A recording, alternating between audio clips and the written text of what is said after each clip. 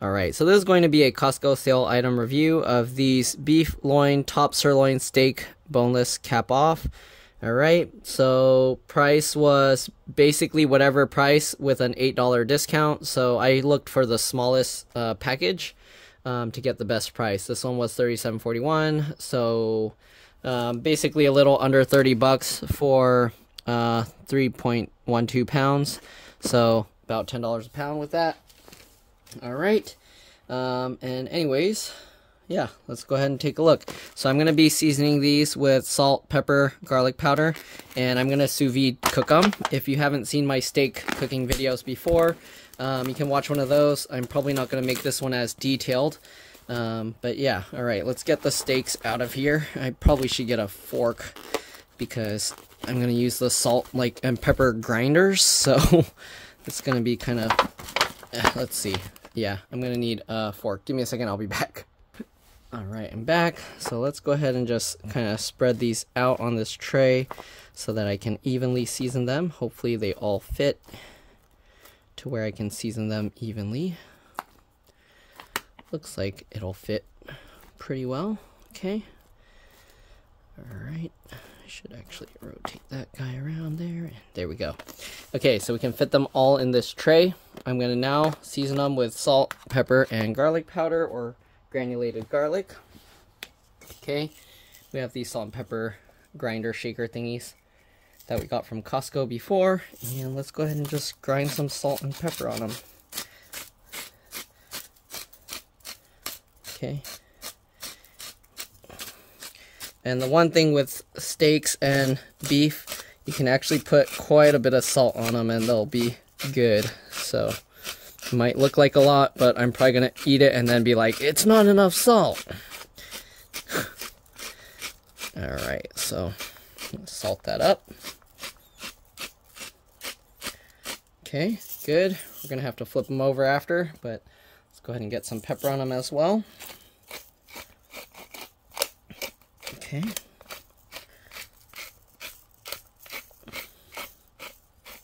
Get a nice amount of pepper the little pepper thingies get stuck in this and don't always grind well, but there we go.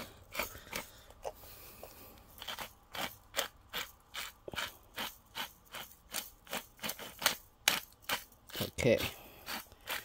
Got them all salt and peppered up. We're to now get the granulated garlic and we're going to pour that on.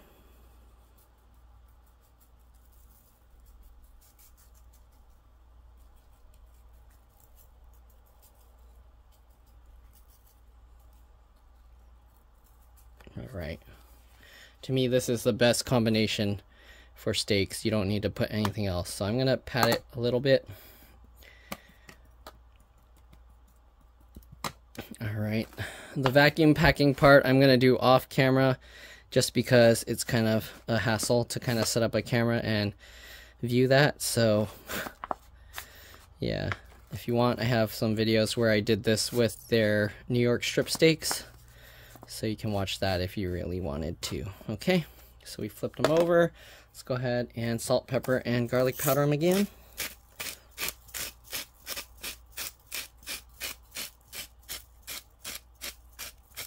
Again, it might look like a lot of salt, but every time I do this, it's like not too bad. It's not like too much. So especially since this thing grinds it so fine. It looks like a lot more than it actually is. Okay.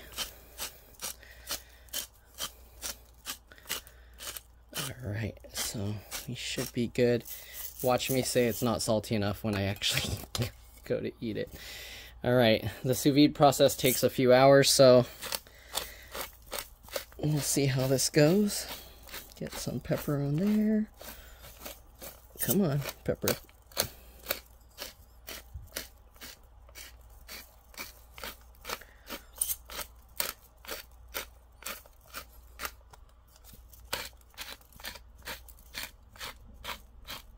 I might be putting too much pepper actually. Alright, so there we go. And then more granulated garlic.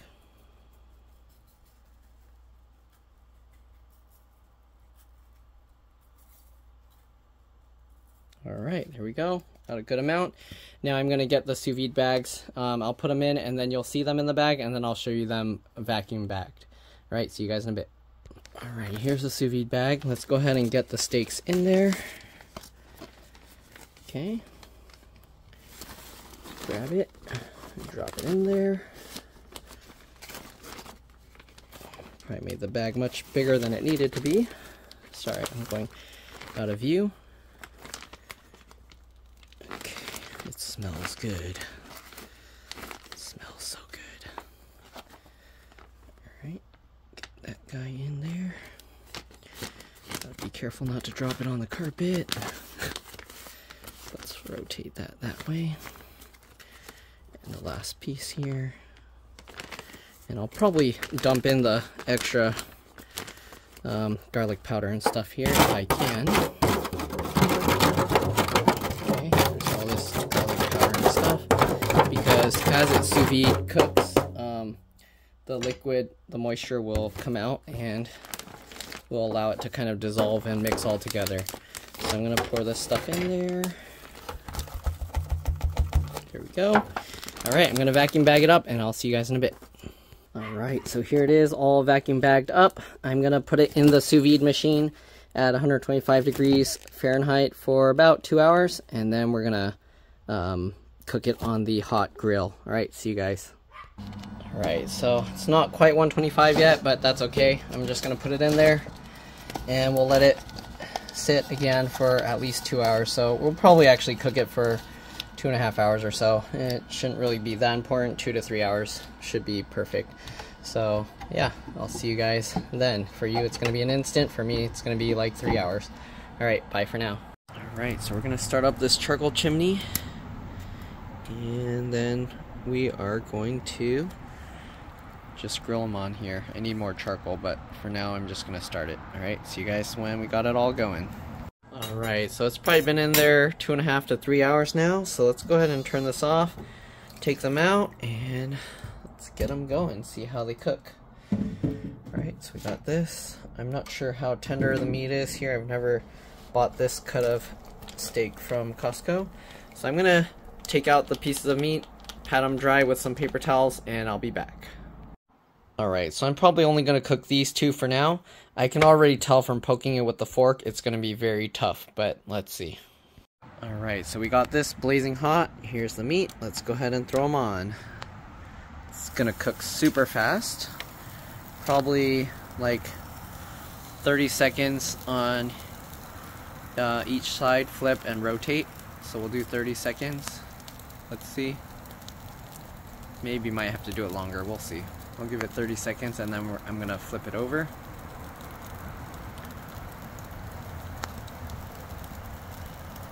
Okay, let's grab this guy. Let's grab this guy. Flip it. The bars are super hot because it's been sitting there. Okay, there we go. Look at that. Looks good.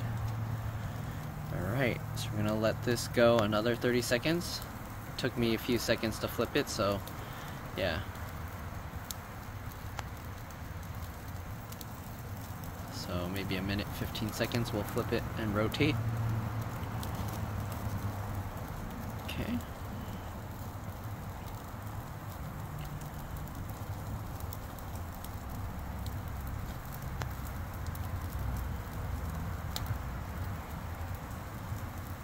Alright, let's grab this and rotate it this way. Uh-oh. This is going to be tough. And then we're going to grab that and rotate that this way. Yeah, this, I guess I need to do it longer than 30 seconds on each side. Alright, let's do it another, let's do 40 seconds this time. So we'll do at the 2 minute 10 seconds. I know it's not quite exactly 30 seconds, but yeah.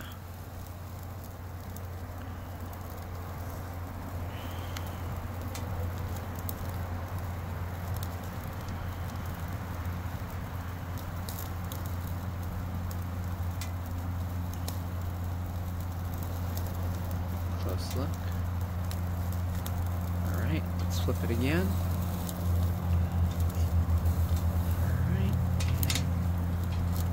this guy again. Alright, it's looking good.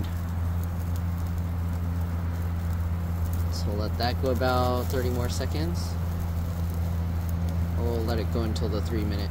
Uh, sorry, you can't see my timer, but I have a timer going, and I'm gonna give it, yeah, another 20 seconds. And then we'll go inside, cut them up, and see how they look and taste.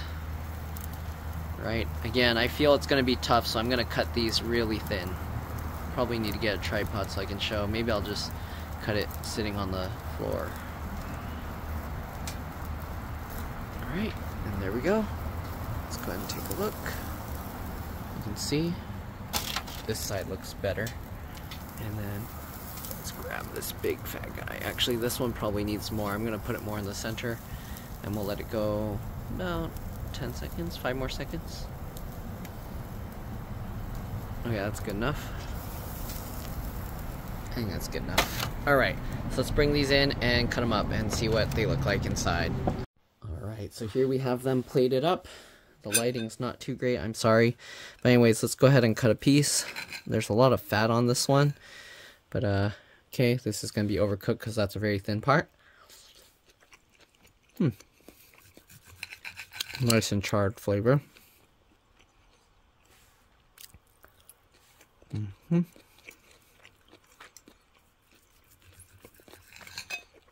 Mmm. Look at that. Nice and chewy. Mmm. I know.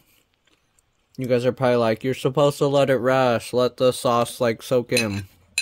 You're losing all the juices. I don't care. I'd rather have warm steak. This part will have time to rest while I'm eating the rest. Okay? Alright, look at that. Nice and medium rare. I like it more on the rare side. Hmm. Mm-hmm.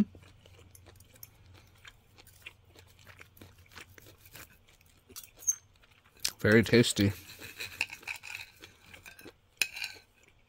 Mm-hmm. Look at that.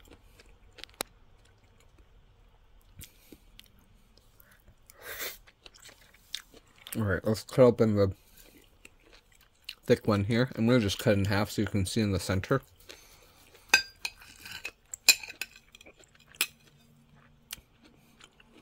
Look at that.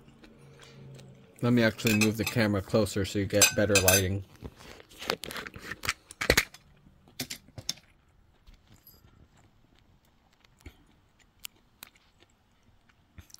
Yeah, it turned out delicious. So, mm -hmm. definitely really enjoy this. If you want like super soft, tender meat, this is a little bit on the tougher side. But as long as you cut it against a grain, so if you see how this is going, like you want it to kind of make smaller shredded pieces, then you should be okay. Let's try and cut up this big piece and shoot up. You can see how when you cut it, it's like this very like shredded. You don't want to cut it like along those shredded parts because then you'll get long strings that you gotta chew on. Okay? Mm-hmm. Hmm. Let me call my brothers over to give some, give it a taste. All right, give me a second. All right, my brother's here. Let me cut him a piece and see what he thinks. No. Okay.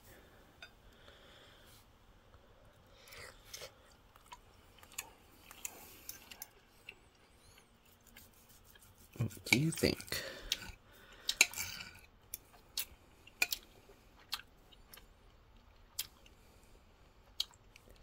Pretty chewy.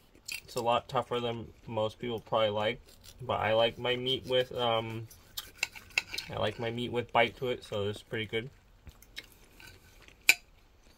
Mm -hmm. And it's yep. a nice like big chunk too. hmm. Want more? Did you season it with anything but just salt and pepper? Um, what is it? That garlic, granulated garlic. Mm-hmm. One more. Mhm. And he usually doesn't like rare steak, so this is pretty rare.